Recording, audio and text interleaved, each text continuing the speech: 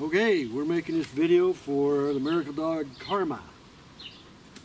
She um, she was one of our pups that we raised out of our, our two dogs that we really really um, enjoyed and liked, and they're genetic treasure. That's why we still and, and spent so much money or trying to work with Karma. Um, we sold her to a trainer, and uh, through the trainer had problems with um, a divorce and some home problems, I guess. And but she was trying to show karma, and was always complaining that she was three-legged. And so anyway, uh, through all of that, we got karma back.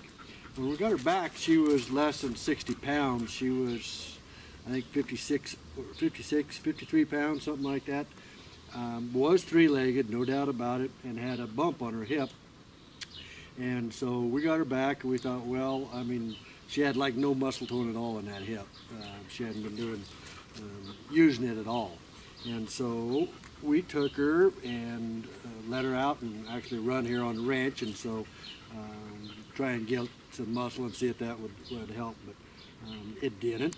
And so we took her over to the vet and to our local vet here and they x-rayed the hip and they didn't know exactly what that was on that bone, and they they uh, they were worried about. It. They said, you know what, the, and uh, so they uh, suggested we take her over to the university.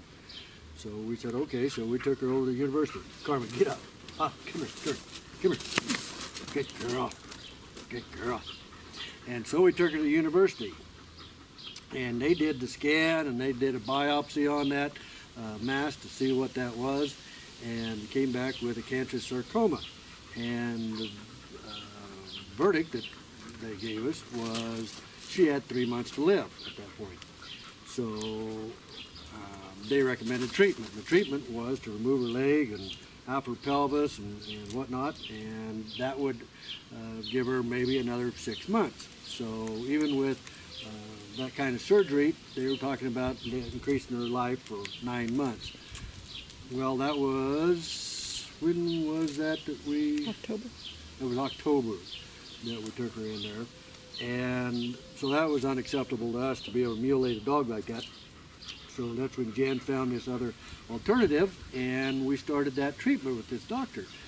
And it just started getting better and she started doing really well and, and started getting around. So the lump went down, she started running around, she started getting muscle tone you can see right now, I mean, she's she's a good, healthy dog. Karma, sit. Good girl. And she just got back from being up um, on vacation with my wife and running around the lakes and on the ranch for, for eight, nine days and, and having a great time. And, and she enjoys a great quality of life. And so through this treatment, she has done excellent. We've took it, taken her back to the vet's office and they took an x-ray of it again and said, you know, uh, told us that unless you knew something was there or had ever been there, you wouldn't know anything was there. I mean, there's kind of like a shadow, and if you weren't looking for it, you wouldn't find anything. So right now, you know, she's in total remission, doing extremely well, and we have all the faith in the world of this treatment option. Um, myself, I've been um, had a cancer issue for seven years, and if this team had a human uh, trial, I'd sign up for it. So, yeah, we like we like what's going on with Karma, and hope and pray that uh, this team gets to continue what they're doing.